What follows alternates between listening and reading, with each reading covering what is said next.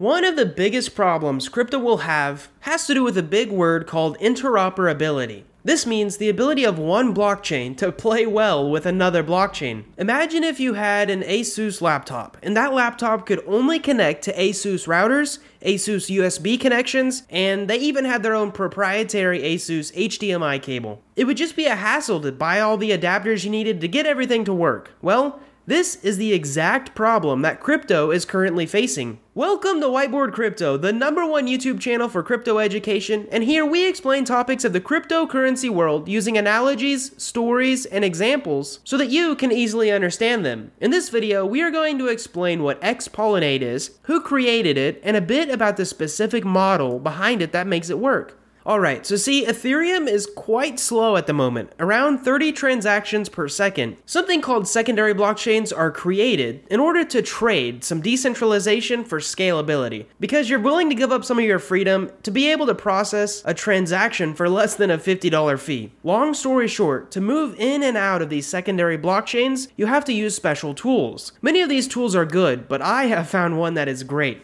xPollinate acts as a bridge that utilizes a special protocol called NXTP, developed by the Connext platform. We'll get to both of these in a bit, but first let me explain xPollinate. So you know how liquidity pools are pools of money that hold two assets, and they allow traders to trade their tokens back and forth? Well, if you don't know what I'm talking about, definitely check out our video on it because it's super helpful to beginners. Anyways, what if we created a liquidity pool but across multiple blockchains? This way, you could deposit your USDC on the Polygon network and then ask for USDC on the Fantom network, essentially moving your funds from one chain to the other. xPollinate lets you do exactly this with very low fees and avoiding the hours and hours of waiting time that are usually required for traditional blockchain bridges. They're also better than atomic swaps too, because atomic swaps require finding someone else on the other network to swap your funds with. Connext has created a dApp that is better than blockchain bridges and atomic swaps, but there must be some risks, right? Well, there are two risks that exist, and it's not due to the platform, but there are risks on any protocol user error and the possibility of a hack. Now, of course, xPollinate is open source, so developers constantly have their eyes looking for bugs. And to be honest, user error can easily be avoided through education. Now moving on, xPollinate is currently functional on a few different EVM compatible blockchains. And if you don't know what that means, it means blockchains that basically copy Ethereum's virtual machine, and some examples of those include Optimism, Arbitrum,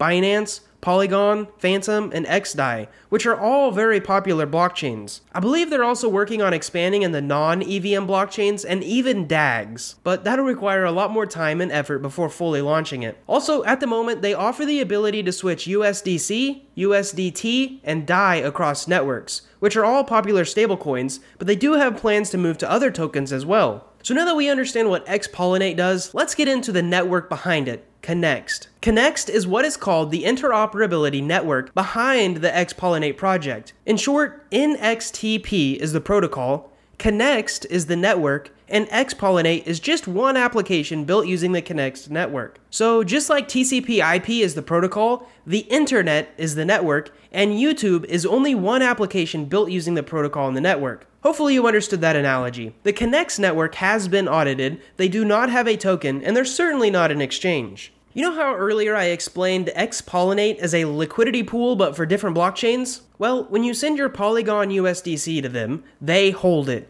Then they give you USDC on the Fantom network. At a later time, someone else comes along and gives them USDC on the Fantom network, and then the protocol gives them the Polygon USDC that you initially gave. So it's very similar to a liquidity pool. There are three big benefits that I see Connext offers in their network. Number one, they are trustless. With this big blockchain interoperability system, you don't need to trust a third party to hold your funds. Instead, you just trust the code to hold the funds that you give and to give you the funds that you want. Number two, they are quite flexible. So the protocol NXTP that I'll talk about in a little bit can be used on any EVM compatible blockchain very simply. Most blockchains don't build their own protocol from the ground up, and since NXTP is, it's very flexible. And number three, low costs. Some other solutions will take your layer 2 funds like on Polygon and transmit data straight to Ethereum and then give you back whatever funds you want. In short, Connext does these swaps without ever touching layer 1. So the fees are very low, going from one layer 2 solution to another layer 2 solution. Next up, I want to talk about routers.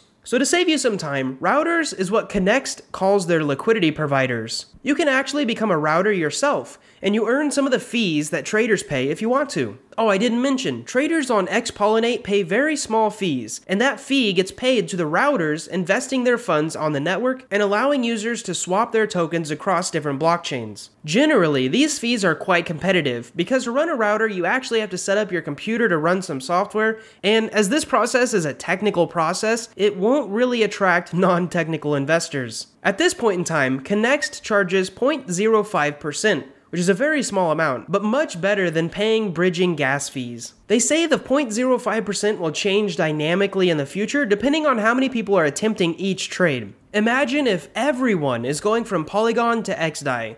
Well, there would be a ton of funds on Polygon deposited, and not very many funds on the XDAI side to withdraw them from. They came up with a really creative way to solve this problem. Think about those scooters that you can ride in big cities. Most people ride them from point A to point B, drop them, and then never return them. Well, what if you offered free scooter rides from point B back to point A, so that these scooters would be returned for free, where more people could use them? This is the exact idea with the dynamic fee pricing.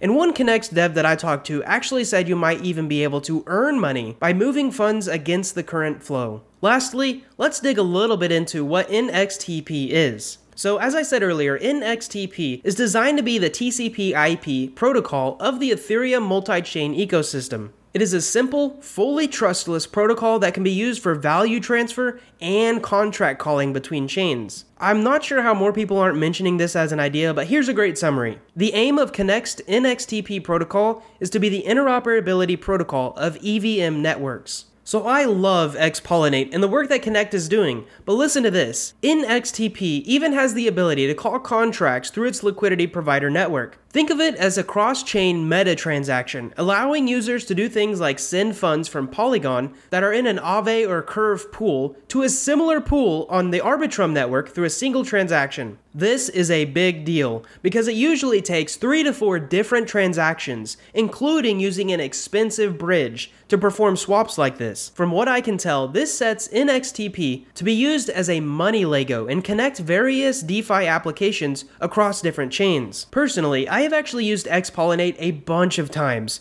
but only recently when working on this video did I find out what actually goes on behind the scenes regarding Connext and their NXTP protocol. It was really interesting to learn about all this, and I hope you guys found it interesting to learn about. If you want to save on gas fees and do quick layer 2 swaps, definitely check out the xPollinate dApp. I'll leave a link in the description. And oh, by the way, if you want to learn more about DeFi tools like xPollinate, we've actually created a DeFi for Beginners guide that's absolutely free to you. You just have to visit whiteboardcrypto.com to check it out. Go grab it and let me know what you think. We've worked really hard on it and want to make it the best guide out there. Thanks for watching our video. We hope you enjoyed it. We really hoped you've learned something. And most of all, we hope to see you in our next video.